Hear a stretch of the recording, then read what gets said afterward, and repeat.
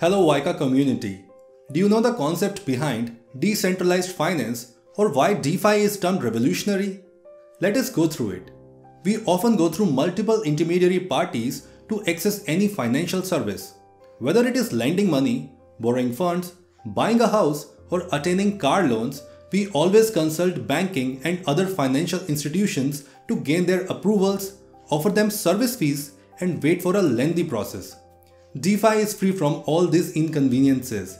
It is a secure, private, and anonymous system that offers traditional financial services through different protocols utilizing blockchain technology, while also eliminating any governing body or intermediary influences and connecting users directly to carry out their financial transactions.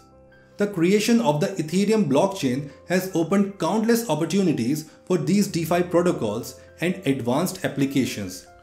DeFi attracted much interest in the recent two years as the total locked value in different DeFi apps and contracts reached $85 billion by August this year.